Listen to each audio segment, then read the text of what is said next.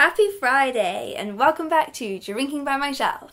My name is Emma and today I'm going to talk about all of the brand new May releases that I have read this month and I'm going to let you know if I think they are worth the buy. I usually work in some joke about treating yourself into that intro, but I forgot to do that. So the first book on my list is one that was so hugely anticipated for me that I'm sure a lot of you were also equally excited about this one, and it is finally here. That is The Favourite Sister by Jessica Knoll. So, Jessica Knoll is the author of Luckiest Girl Alive, which came out in 2015, I believe, and I absolutely devoured. So ever since then, I've been so, so excited for her follow up novel, and this is it The Favourite Sister. I also got extra excited when I found out what it was about because if you know me, you'll know that I love reality TV.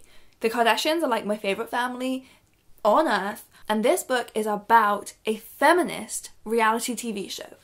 Those are like my two favourite things smushed together. So the premise is there's two sisters, Brett and Kelly, Brett is the favourite sister, and she is the star, or one of the stars, of this feminist reality show that's all about career women. So she's on this show, and her sister Kelly also really wants to be on it. But what we learn right from the beginning in a flash forward is that before the season is over, Brett will have been murdered. So, like, was it her sister that did it? Oh my goodness, sisterly competition. That's another of my favourite things in books. This just honestly has everything that I love, and that's why I was so excited. I sped through this one just as fast as the last one.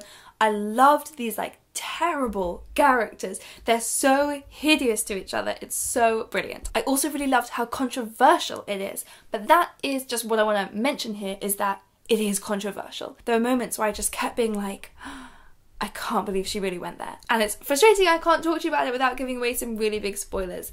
But basically, this book is very daring. Jessica Knoll is a writer that I really, really admire, and from watching her in interviews, I just love her. I love what she has to say. She's very feminist. She's written great essays for Lenny that I really, really enjoyed, and I think that I'm really excited by what she's done here and the areas that she's gone to here. But I also think there are important conversations to have around them, and I'm really looking forward to seeing this happen. So please, other people on BookTube, please read this book and let me know what you think. But in my opinion, is this one worth the buy? Should you treat yourself to this one?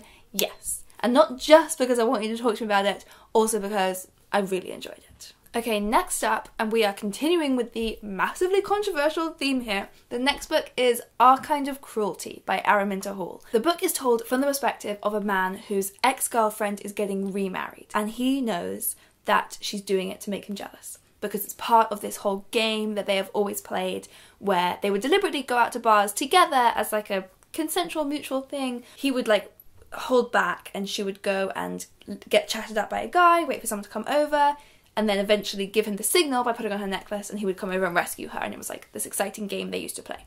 So he knows, no worries, this is all just part of the game and I have to play along. But of course, from the reader reading it, we can see that he is completely delusional and that she is actually trying to move on with her life and that he is stalking her. So, books written from the perspective of stalkers are not for everyone. I know that You by Caroline Kepnes was very divisive, but I loved it. And this, very much in the same vein, I really, really enjoyed. I thought it was so well done. There's so many layers to what she's doing here. It's absolutely terrifying being inside this guy's mind because he gets violent in ways that he doesn't even realize that he's being threatening. He's just, it's a very uncomfortable place to be inside his mind. But she also does two things simultaneously, which I think is really clever. She being Araminta Hall, the writer. She simultaneously lets us get some insights into his past and his childhood that make us feel sorry for him and that make him human to us and us want to almost justify it. But at the same time as doing that, she also attacks the fact that that is what the media always does. So she points out that in court cases around these kind of situations, they always build this narrative around the man, why we should feel sorry for him, and at the same time doing the opposite to the woman. It's always about her sexual deviance and how she's a temptress and how she confused him and misled him. And I thought the balance there was really, really well done. It's not that we don't need to see the humanity in everyone because obviously we do, everyone is a human, but while also showing that we mustn't see the humanity in violent men at the expense of their victims. So, again, I would be really interested to hear other people's thoughts because I know that it can be controversial and divisive to make stories justifying men like that or sympathizing with men like that. That seems to be the norm and the default. So, do we need more stories like that? That might be some of the questions I can see people asking, and I'm really interested to see how the conversation goes. But again, from my point of view, was this book worth the buy? Yes, it was. Really enjoyed this one.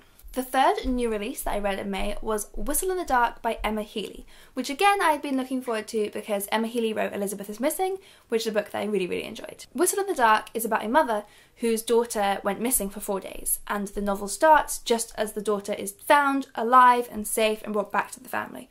But she has no memory of what happened to her and where she's been for the last four days. So it's kind of a mystery about trying to find out what happened, but more than that, it's mainly a character study and it's a story about this family and about the mental health of the daughter in the weeks and months and years leading up to this and the relationship between the mother and daughter and what needs repairing and how they can grow through this. And I just thought was a very beautiful story.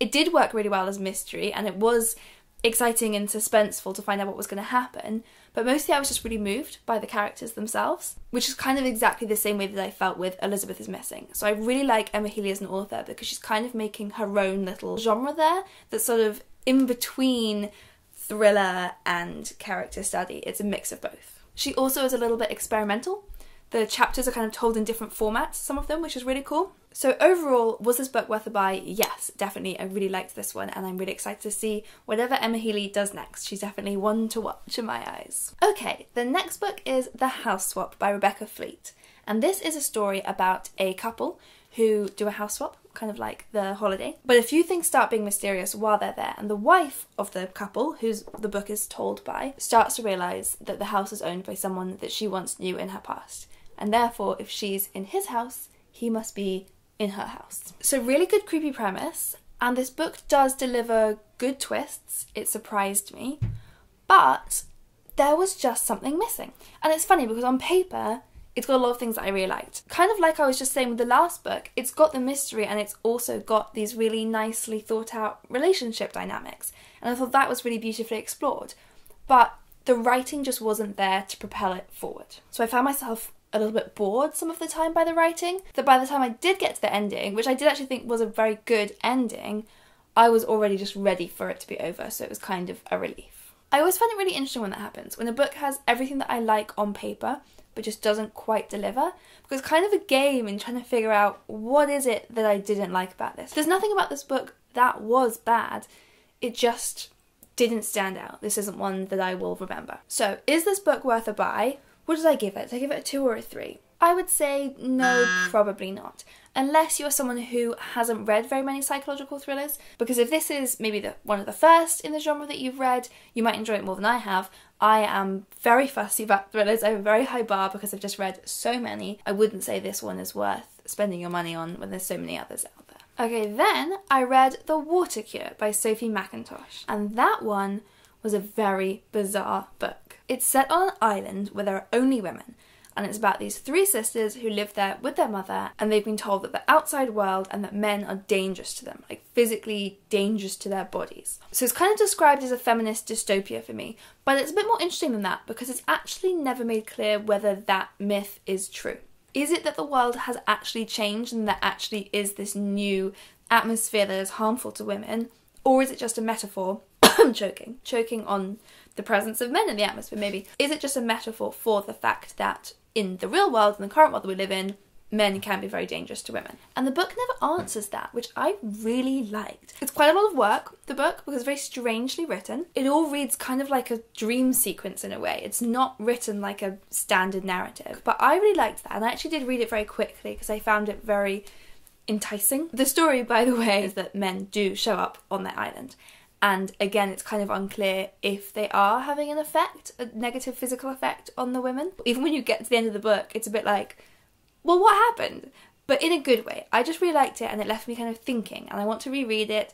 And i feel like on a different time of reading it i might draw totally different conclusions. And i think that's really cool in a book. It'd be a good book club one actually. Maybe i should suggest it for my book club. Anyway is this one worth a buy? Yes I would say absolutely yes. I don't think it'll be a massive great book like The Power, but that it will develop a very strong cult following and that I'm going to be really interested to keep reading reviews. I've already read so many because I just get a bit obsessed with like reading what other people think of books I really like like that. So I really hope that some of you read it and then leave me comments telling me what you think because I'd be really interested in that. Okay, the next May release I want to talk about is Dead Girls by Abigail Tarttelin. And this one I've talked about before. I've actually talked about like all of these before in my balancing the books. I should really figure out changing this format because Otherwise, I'm just talking about like the same books.